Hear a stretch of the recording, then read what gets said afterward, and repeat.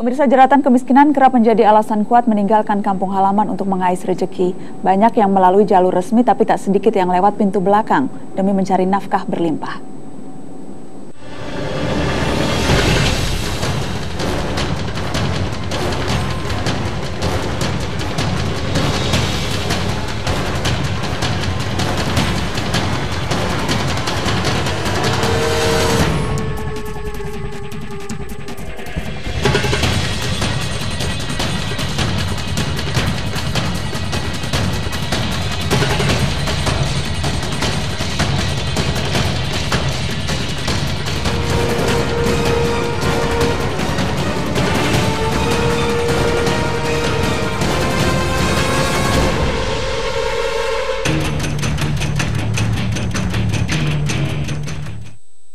Dan telah hadir di studio Mata Najwa salah seorang korban yang diselamatkan dari penyekapan di Batam. Selamat malam, terima kasih sudah hadir Mbak. Iya, selamat malam. Um, bagaimana awal mulanya sampai kemudian Mbak ada di Batam? Jauh sekali dari NTT sampai ke Batam. Ya, awalnya begini Mbak. Saya ini seorang ibu dari seorang anak dan seorang istri dari seorang laki-laki yang tidak bertanggung jawab. Dan saya tidak punya apa-apa. Saya hidup saya susah. Tanpa rumah, tanpa makan dan tanpa semuanya. Yang ada dapat diri saya hanya orang tua dengan anak saya. Dan pada bulan Februari saya tinggal bersama orang tua saya. Ada calon TK, TKW yang datang ke kampung saya dan mengajak saya menjadi TKI supaya dapat supaya saya bisa menghidupkan anak saya juga kedua orang tua saya. Awalnya saya dijanjikan supaya saya bisa mendapatkan uang demi masa depan anak saya. Kerja per bulannya dapat 2.500 dan diberangkatkan secara gratis tanpa potongan gaji. Ya, demi masa depan seorang anak yang tanpa ayah, saya punya niat untuk bekerja di luar negeri. Sempat calon TKW itu tidur di rumahku selama dua malam. Terus aku dibawa ke penampungan yang pertama di Ruteng, Kabupaten Manggarai. Aku pun di sana sempat sakit. Aku kan sudah satu minggu di sana, terus sempat sakit dan mohon sama pemilik PT supaya saya dipulangkan tapi mereka mengatakan harus bayar dulu 10 juta ganti rugi selama saya tinggal selama satu minggu di tempatnya mereka. Ya namanya aku orang susah tak mungkin punya uang 10 juta seperti itu. Saya juga sempat mengatakan apa yang harus saya bawakan. Mereka bilang ya cuma KTP saja. Ya oke okay lah karena saya juga orang kampung orang udik. E, di daerah saya belum ada televisi jadi saya tidak tahu apakah yang harus saya siapkan seandainya saya pergi ke luar negeri Hmm. Jadi dari Ruteng uh, kemudian Mbak dibawa ke? Uh, dibawa ke Jakarta. Ke Jakarta. Iya, padahal perjanjian pertamanya mereka menjanjikan bahwa saya diterbang, maksudnya saya dibawakan dari Ruteng langsung ke de Batam. Ternyata apa yang mereka ungkapkan tidak sesuai dengan kenyataan. Mereka sampai di Bandara Soekarno Hatta mereka mengatakan kita turun di sini. Udah itu kami dibawakan ke Tangerang Selatan. Hmm. Di Tangerang Selatan itu uh, tempat penampungan calo TKI ini. Iya. Sampai di Tangerang Selatan saya bertemu dengan 200 lebih sekitar 250 orang yang ditampung di Tangerang Selatan. Hmm. Rata-rata yeah. dari mana itu, Mbak? Eh, rata-rata uh, dari Jawa juga dari NTT. Jawa dan NTT. Iya. Jawanya sebelah mana, Mbak sempat?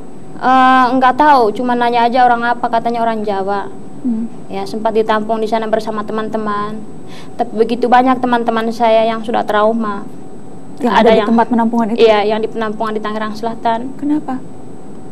Ada yang tidak sabar karena menurut perjanjian yang mereka janjikan bersama mereka, mereka ada di penampungan cuma satu dua minggu. Hmm. Ternyata ada teman-teman saya yang mengalami hal yang tidak baik di dalam sana, ada yang sakit jiwa karena mereka mendapatkan di penampungan tujuh delapan bulan. Hmm. Dan uh, orang tua juga anak suami mereka mengharapkan bahwa mereka pergi mencari uang. Ternyata mereka masih ditampung di Tangerang Selatan. Hmm. ada juga enam orang teman saya yang mereka kabur dari lantai empat terjun ke tanah. Tak tahu sampai sekarang tidak tahu di mana mereka. Dan begitu banyak tantangan yang kami alami dalam penampungan itu Air minum tidak mencukupi, makan pun tidak sesuai dengan apa yang mereka janjikan kepada kami bahwa makan itu tiga kali sehari. Ternyata makannya cuma nasi putih sama sayur aja. Kadang ada ikan, ada daging cuma satu kali satu minggu. Itu kalau ada. Tapi saya tetap yakin dan percaya bahwa Tuhan pasti membantu saya. Hmm. Apa yang terjadi di Batam? Uh, awalnya sampai di bandara, saya juga dijemput. Uh, kami berempat. Kami dijemput pada oleh orang yang tidak pernah kami kenal. Dan dia pun kenal nama waktu itu namanya Kusnadi. Satu aku tak tahu, tapi sering dipanggil Pak Kumis kan. Udah itu kami pun dibawa ke penampungan. Sampai di penampungan pertama, uh, saya lihat perempuan dengan laki-laki gabung. Hmm. Iya, saya pun sempat tanya, kenapa perempuan sama laki-laki ini gabung di sini? Teman-teman mengatakan ini adalah penampungan bebas. Di sini uh, kamu bisa pegang HP, kamu sebebas-bebasnya kamu di sini. Saya bilang masih adakah tempat penampungan lain untuk saya? Ada berapa orang di penampungan yang itu? Tidak bisa dihitung. Ramai. Ramai sekali. Hmm. Iya. Sempat Pak Abbas mengatakan kalau memang kau mau ada lagi tempat penampungan yang satu, tapi di situ yang pertama kamu tidak boleh komunikasi lewat HP.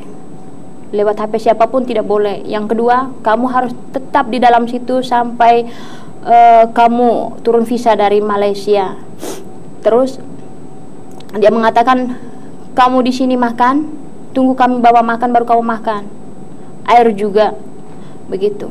Kami makan di penampungan cuma dua kali sehari, jam 10 pagi juga jam 6 sore.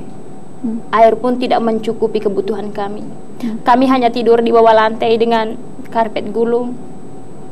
Ya, begitu banyak teman-teman saya juga yang sakit termasuk saya sendiri. Sakit apa, Mbak? Saya pun mengeluh sakit. Kan dulu saya pernah dihantam pakai batu oleh suami saya. Terus kumat lagi karena dingin kan. Ya saya kasih tahu sama Pak Abbas, sopirnya dia juga sopirnya pemilik PT itu Pak Joni itu uh, saya kasih tahu tapi Pak Abbas pun mengatakan itu urusanmu karena uang uh, yang sudah menjadi milikmu sudah dikirim. Nyatanya saya tidak pernah terima uang dari siapa pun juga dari calo-calo awal sampai di Pak Joni pun seribu pun saya tidak dapat. Kasus ini juga kita sudah menetapkan juga ada sekitar 16 orang yang DPO ya mas ya. Itu berasal dari daerah perekrutan. Nah ini kita sudah kasihkan hasil penyidikan kita terhadap orang-orang yang 17 ini yang bisa diminta pertanggungjawaban itu ada di NTT.